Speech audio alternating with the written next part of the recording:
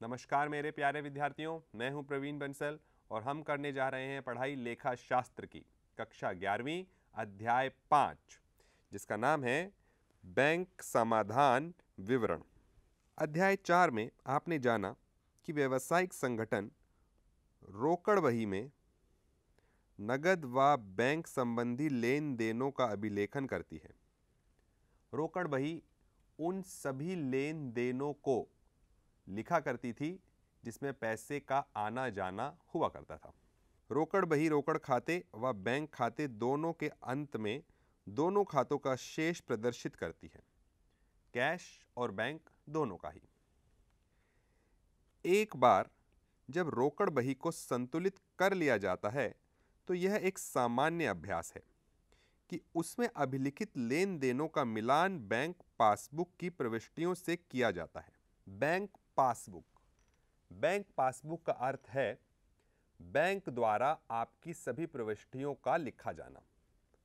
देखिए, आपने यदि कोई चेक बैंक में जमा कराया तो रोकड़ बही में तो उसको आपने लिख लिया।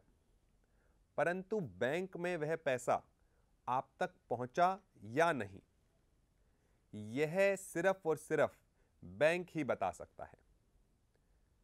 यह भी तो हो सकता है कि वह चेक अभी तक क्लियर ही ना हुआ हो। उस चेक पे अंकित हस्ताक्षर मैच ही ना हुए हों, या कोई भी अलग तरीके का इसके अंदर रीजन हो सकता है।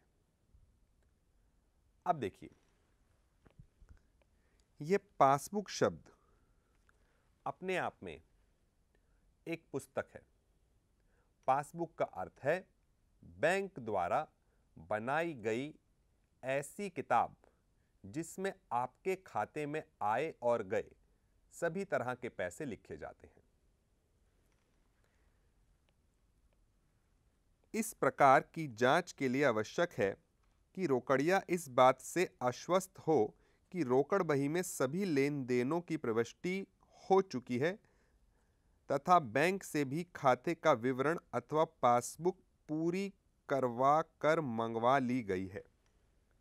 कहने का मतलब यह हुआ कि जो प्रविष्टियाँ कैश बुक में लिखी गई हैं, वह सभी प्रविष्टियाँ अगर बैंक द्वारा दी गई पासबुक में भी लिख दी गई हैं तो कोई दिक्कत नहीं। परंतु यदि कैश बुक कैश बुक का नाम मैं जब भी लूँगा तो आप कैश बुक के बैंक कॉलम को ही याद करें। कैश बुक के कैश कॉलम को आप याद नहीं करेंगे। कैश बुक के बैंक कॉलम में, डेबिट या क्रेडिट, पैसों का आना या जाना, इन सभी प्रविष्टियों को बैंक की पासबुक से तुलना कराई जाती है। अब, इनमें से कुछ प्रविष्टियाँ ऐसी हो सकती हैं कि बैंक ने उनको ना लिखा हो और आप उसको लेन या देन मान चुके हैं, या फिर बैंक कुछ प्रविष्टियाँ, अर्थात पासबुक में कुछ प्रविष्टियाँ हो चुकी हैं और आप उनको अभी तक लिख नहीं पाए हैं। तो शायद इन गलतियों की वजह से बैंक द्वारा बताया गया बैलेंस और रोकड़ बही मतलब कैश बुक द्वारा बताया गया बैलेंस अलग अलग हो सकता है। तो इन दोनों शेष राशियों को सही करने के लिए इनका मिलान कराने के लिए जो विवरण बनाया जाता है, उसे बैंक समाधान विवरण कहा जाता है। अंग्रेज़ी में हम इसको बैंक रिकन्सिलेशन स्टेटमेंट भी कहते हैं। इस तरह की चीज़ों को उदाहरण से समझें। आपकी पुस्तक में बोला गया है सामान्यतः ऐसा अनुभव किया गया है कि जब रोकड़ बही द्वारा प्रदर्शित बैंक स्तंभ के योग की तुलना बैंक विवरण द्वारा प्रदर्शित शेष से की जाती है, जैसा कि मैंने कहा। कैश बुक के बैंक कॉलम की तुलना जब पासबुक से की जाती है तो यह समान नहीं होते। दोनों द्वारा दी गई शेष राशि समान नहीं होती। इनमें अंतर होता है। इसलिए हमें सर्वप्रथम इस अंतर के कारणों का निर्धारण करना पड़ता है। विद्यार्थियों, ये सारे के सारे जो भी आपसे छूट गए हैं, वो प्रविष्टियाँ जो आपसे छूट गई हैं, यह कोई अलग तरीके की गलती किसी रोकड़िया ने नहीं कर दी है। ये सामान्य रूप से हो ही जाती हैं। अब आप जब अपनी कैश बुक और पासबुक की तुलना करते हैं तो यह सारी गलतियाँ आपके सामने आ जाती हैं। और इन सभी गलतियों को आप अपनी बैंक रिकॉन्सिलेशन स्टेटमेंट में दिखा दिया करते हैं और उसी तरह के प्रश्न आपको इस अध्याय में कराए जाएँगे। चलिए देखते हैं, आपकी पुस्तक क्या कहती है? बैंक रिकन्सिलेशन स्टेटमेंट मतलब यह विवरण इन दोनों पुस्तकों के शेषों का मिलान कर देता है। बैंक समाधान विवरण बनाने के लिए हमारे पास रोकड़ बही के अनुसार बैंक स्तंभ में दिया गया शेष, जैसा कि मैंने आपको पहले ही बताया, व उस तिथि विशेष तक दोनों पुस्तकों में दर्शाए गए लेन देनों का विवरण उपलब्ध होना चाहिए। यदि दोनों पुस्तकों के शेषों में अंतर पाया जाता है तो उनमें दिखाई गई विभिन्न मदों की तुलना कर अंतर तथा उस धन राशि का निर्धारण किया जाता है। चलिए, देखते हैं। उदाहरण में दिया है कि आपको रोकड़ बही के अनुसार शेष प्रदान है मतलब कैश बुक का बैलेंस आपको दिया हुआ है अब भुगतान के लिए दिए गए चेक जो बैंक में प्रस्तुत नहीं हुए। सुनिए, आपने भुगतान के लिए अपने किसी क्रेडिटर को या किसी भी तरीके की देनदारी को पैसे दिए। आपने अपनी देनदारियों को चेक दिया। जैसे ही आपने चेक दिया आपने अपनी कैश बुक में उसको घटा दिया। परंतु उन लोगों ने अभी तक यह चेक बैंक में प्रस्तुत नहीं किया है। उन लोगों ने यह चेक अभी तक बैंक में प्रस्तुत नहीं किया है। तो बैंक में से तो पैसा कटा नहीं और आपके कैश बुक में से पैसा कट चुका है। तो इस तरह की गलती में रोकड़ बही और पासबुक के शेष आपस में एक जैसे नहीं दिखाई देंगे। तो इसी तरह के अंतरों को आप बैंक रिकंसिलेशन स्टेटमेंट में दिखाते हैं। और देखते हैं। बैंक द्वारा दी गई ब्याज की राशि। बैंक ने आपको ब्याज दिया। अर्थात पासबुक में मतलब बैंक में यह पैसा बढ़ गया। परंतु आपको इस चीज़ की कोई जानकारी नहीं। जब आपको जानकारी ही नहीं, इसका मतलब कैश बुक में यह राशि कम है। मैंने आपके सामने दो उदाहरण रखे। जिन दोनों ही उदाहरणों में आपने यह जाना कि बैंक में से पैसा आ चुका है या जा चुका है और हमें इस बारे में नहीं पता कि वह पैसा बैंक में आ चुका है या जा चुका है। तो इसी तरह के अंतरों को आपको मिलाना है। फिर से दोहराता हूँ, अपना पहला उदाहरण। हमने किसी क्रेडिटर को चेक दिया और बैंक से अभी तक उस क्रेडिटर ने पैसे नहीं लिए। इसका मतलब बैंक में पैसे ज़्यादा हैं। तो बैंक रिकंसिलेशन बनाते हुए आप सिर्फ़ एक बात का ध्यान दीजिए। जब आपको रोकड़ बही का शेष दिया हुआ है, जब आपको कैश बुक का शेष दिया हुआ है और आपको पासबुक के शेष पे पहुँचना है तो आप जहाँ पहुँचना चाहते हैं, आप सिर्फ़ उसके हिसाब से यह देखिए, यदि वह चीज़ बढ़ रही है, जैसे कि हमारे उदाहरण के अनुसार हमें पासबुक के शेष पर पहुँचना है तो हम यह देखेंगे कि हमारे किसी भी प्रविष्टि के कारण यदि पासबुक का बैलेंस बढ़ गया है तो हम भी बढ़ जाएँगे। और यदि पासबुक का बैलेंस घट गया है तो हम भी घट जाएँगे।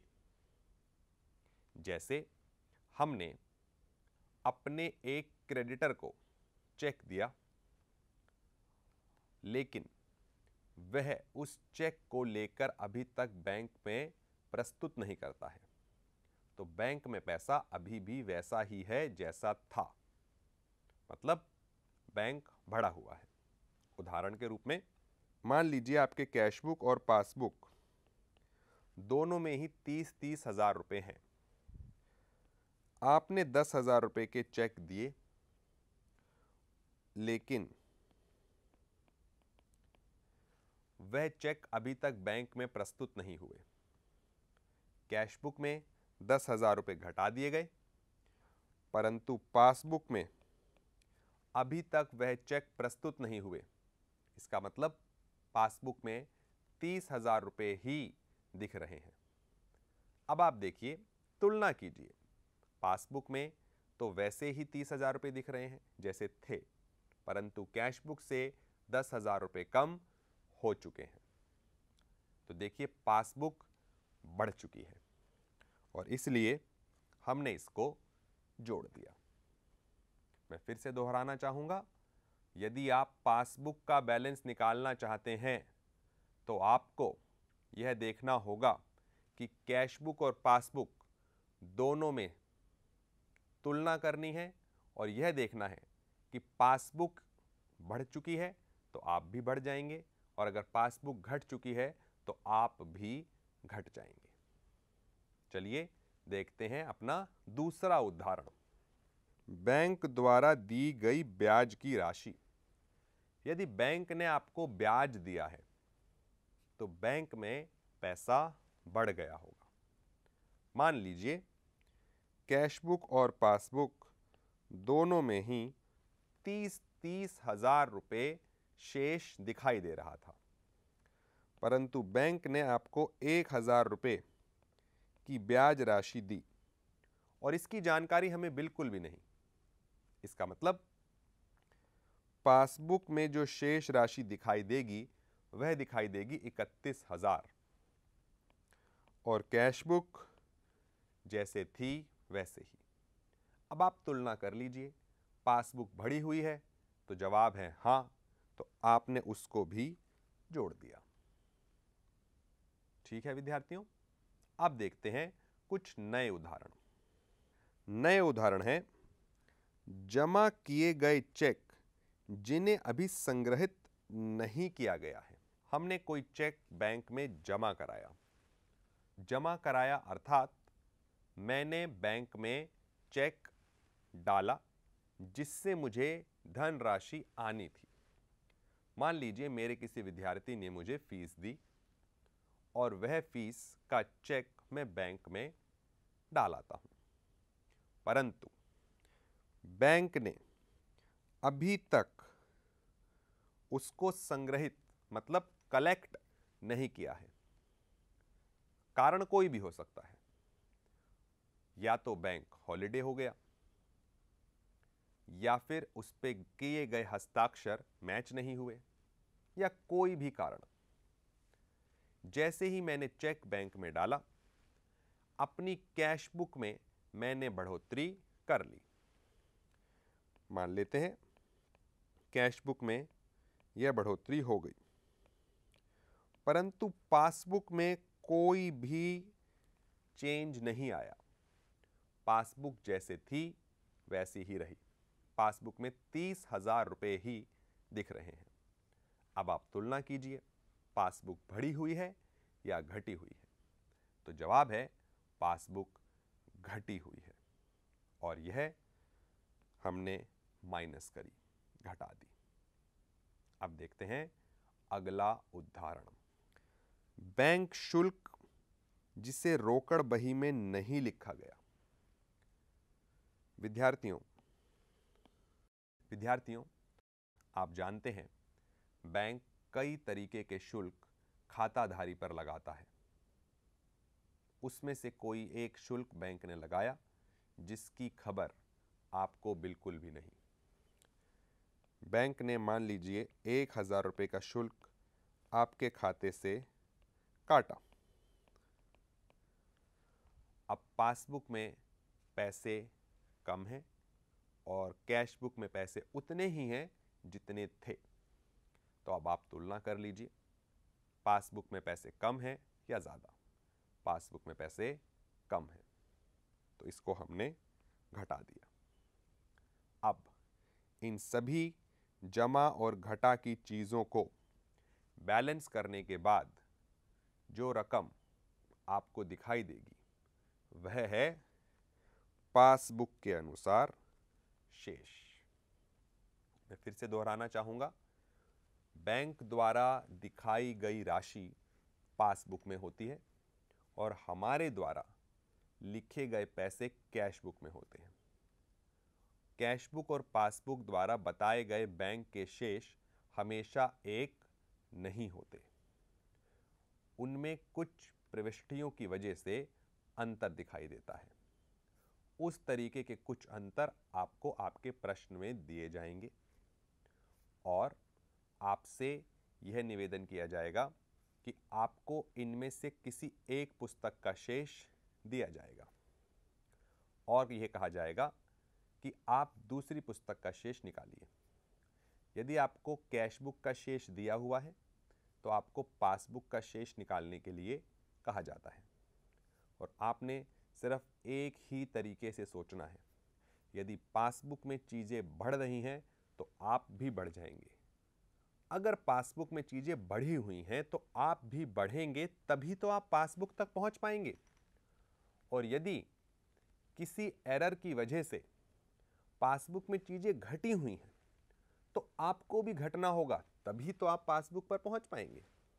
जिसके कुछ उदाहरण हमने अभी अभी किए। सीखते हैं बैंक रिकॉन्सिलेशन स्टेटमेंट को एक प्रश्न के रूप में।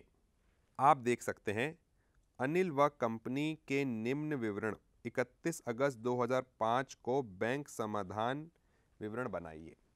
मतलब आपको कुछ एरर दिए हुए हैं और बैंक पासबुक का बैलेंस आपको पता लगाना है। रोकड़ बही के अनुसार आपको शेष चौवन हज़ार रुपये दिया हुआ है। देखिए, आपको रोकड़ बही का शेष दिया हुआ है और यह नहीं बताया गया कि रोकड़ बही का शेष प्लस है या माइनस तो हम इसको प्लस ही मान के चलते हैं। डेबिट बैलेंस ही माना जाएगा। अब आपके सामने कुछ अंतर, कुछ एरर आपको दिए गए हैं। अब आपको इन सब का ध्यान रखते हुए बैंक पासबुक के शेष को पता लगाना है। मैं फिर से दोहरा दूँ, आपको जब बैंक पासबुक के शेष के बारे में पता लगाना है तो आपको यह पता लगाना है कि बैंक पासबुक बढ़ा या घटा, अगर वह बढ़ गया है तो आप भी बढ़ जाइए, और अगर वह घट गया है तो आप भी घट जाइए। ठीक है? चलिए। अनिल व कंपनी खाते में सौ रुपये का आकस्मिक शुल्क नाम किया गया। अनिल की कंपनी के खाते में सौ रुपये का शुल्क लगाया गया। मतलब बैंक ने सौ रुपये से कटौती की। जिसका अभिलेखन रोकड़ बही में नहीं हुआ है। मतलब जिसकी जानकारी हमें बिल्कुल भी नहीं है। इसका मतलब पासबुक में कटौती हुई और पासबुक का बैलेंस नीचे आ गया। और पासबुक का बैलेंस कैश बुक की तुलना में कम है। आइए और अच्छे तरीके से समझते हैं।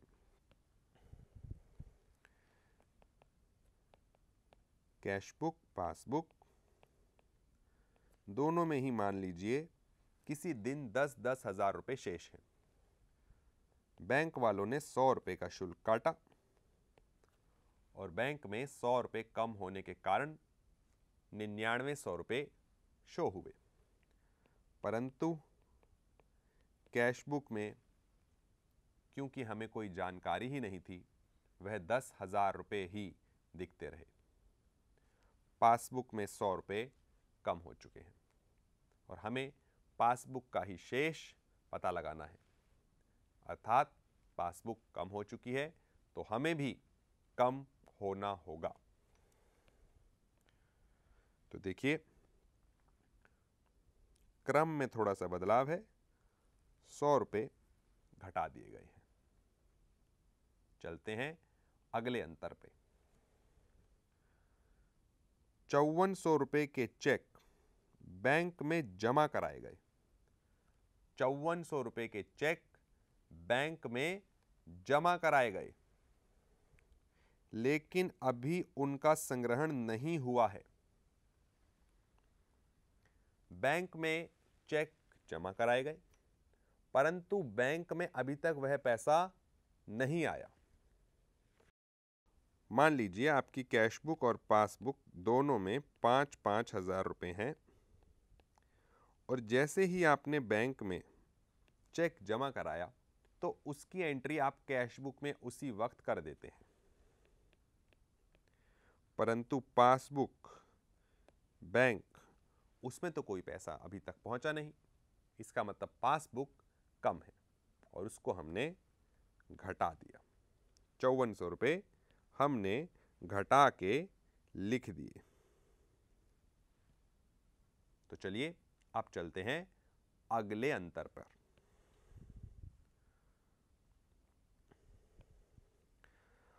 अब प्रश्न कहता है, अनिल एवं कंपनी द्वारा बीस हज़ार रुपये के चेक जो भुगतान के लिए दिए गए थे, अभी तक प्रस्तुत नहीं हुए। देखिए, आप जैसे ही चेक का भुगतान करते हैं, आप कैश बुक में से उतनी राशि घटा लेते हैं। परंतु अगर वह व्यक्ति जिसको आपने भुगतान किया है, वह उन पैसों को बैंक से लेने ही ना पहुँचे। तो इसका मतलब बैंक से तो वो पैसा निकला नहीं है और बैंक में वह पैसा बड़ा हुआ ही नज़र आएगा। देखते हैं कैसे। मान लीजिए आपके कैश बुक और पासबुक में पचास पचास हज़ार रुपये हैं। आपने बीस हज़ार रुपये के चेक का भुगतान किया। जैसे ही भुगतान किया, आपने कैश बुक में से उसको घटा दिया। कैश बुक का बैलेंस घट गया। परंतु पासबुक में अभी भी वही बैलेंस दिखता रहेगा जितना था, क्योंकि वह चेक अभी तक बैंक में प्रस्तुत ही नहीं हुआ है। अब तुलना कीजिए कैश बुक और पासबुक की। हमें पहुँचना पासबुक पर है और पासबुक बढ़ा हुआ है और यदि वह बढ़ी हुई है तो आपको उसे बढ़ाना ही होगा, क्योंकि हमको पहुँचना पासबुक पे है। और हमने इसको बीस हज़ार रुपये को जमा राशि में दिखा दिया। अब देखिए, इसको बैलेंस करते हैं। जो अधिक है, वह है चौहत्तर हज़ार, जिसमें से घटाया जाएगा चौवन सौ और सौ। पचपन सौ। और आपको जो प्राप्त राशि हुई, वह हुई अड़सठ हज़ार पाँच सौ, जो है बैंक पुस्तिका के अनुसार शेष।